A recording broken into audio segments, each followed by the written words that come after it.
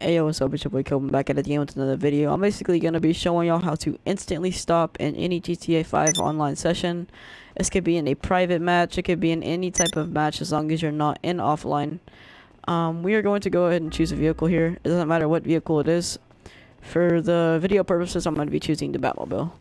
Just because it would prove to you that I could stop 10 times faster than any other thing in the game. This is not a hard glitch at all this will be a very short video. I'll have another video coming out today on uh, transferred outfits if you want to stay tuned for that or put your notifications on so you will get the update. So for all this glitch, you don't need any type of apartments, anything. This is a very, very simple glitch. For you, all you need to do is when you're driving, you hold down the the the down on the D-pad and then you want to go up to Franklin or Trevor, Trevor, anybody you want, doesn't really matter, and then let go. You should get this an alert, everything should stop if you're in a private session. You shouldn't hear anything, and all you should do is click no. From here, I'll demonstrate how it makes you stop. I'm going to click the boost, so you will see that it does stop. And as you can see, I am in the same spot, nothing got damaged, nothing got hurt. And I will do, I'll demonstrate it again for the video purposes.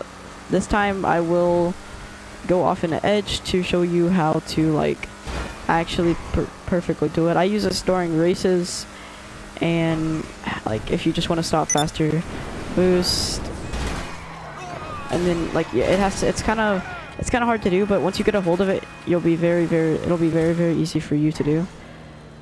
So just now, I will boost let go, and my car will stop exactly where it was before. And I'll show you again. Um, I'll show you again, demonstrate it one more time, and then, so at the end of the video, I'll show you one more time. Here we go. And basically in the same spot, I hit that little curb, so yeah. But you can use this during races and you can show it off to your friends saying you're hacking or something, I don't know. It's just a funny glitch, nobody really knows about it, and hopefully you did enjoy that glitch, and see y'all in the next one. Peace.